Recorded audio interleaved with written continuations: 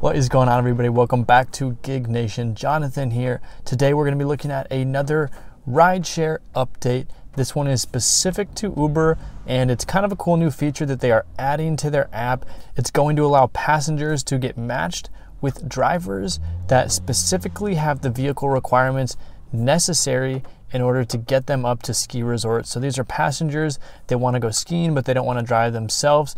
And if you are an Uber driver, you have an SUV that has a little bit more space and something like a roof rack to put some ski gear, some skis on top of, this could be a good fit for you. So let's take a look at exactly what is going to happen. This feature is going to be released in 23 different regions, and these are regions that Uber is kind of deeming as ski regions. So places like Salt Lake City, Denver, upstate New York, uh, even in Seattle, there's going to be a feature uh, that's offered on the app. And so let me show you exactly what this is going to look like. So I do not have the update. It's not going to be released until the 17th of December, but we have a pretty good idea of what it will look like in the app. So if we come over here to the passenger version of the Uber app, you can scroll down and see the different types of Ubers that are offered from UberX, Uber Pool, and then if you go a little bit further, you can see Uber XL. So let's say I want to take a trip to Crystal Mountain from here in Seattle. I'm going to go ahead and type that in. And then on these different options that pop up,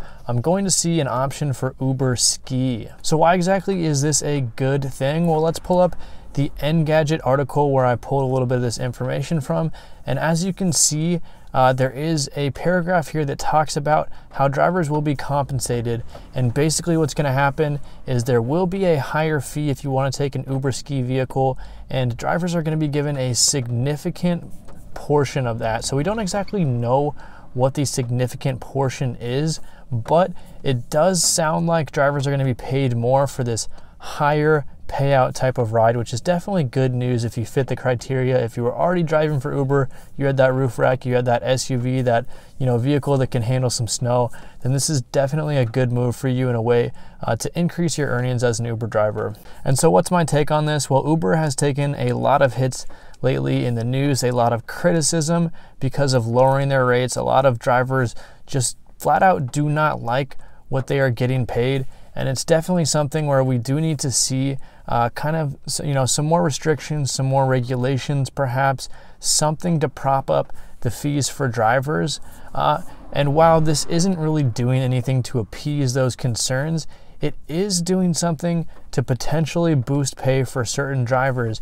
And it's a good thing to see new filters added, uh, to see more specialization available to drivers. And it's always beneficial because when you offer a new specialization, something like Uber Ski, what you're doing is you're narrowing down the market.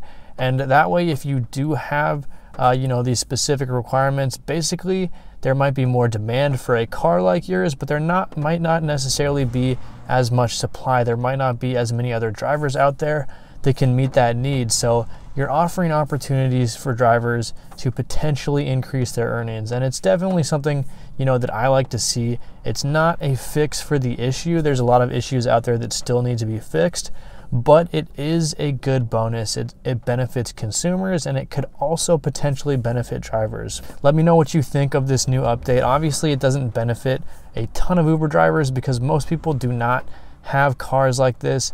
It's really a small niche segment, but it is a good thing to see, a good update to see.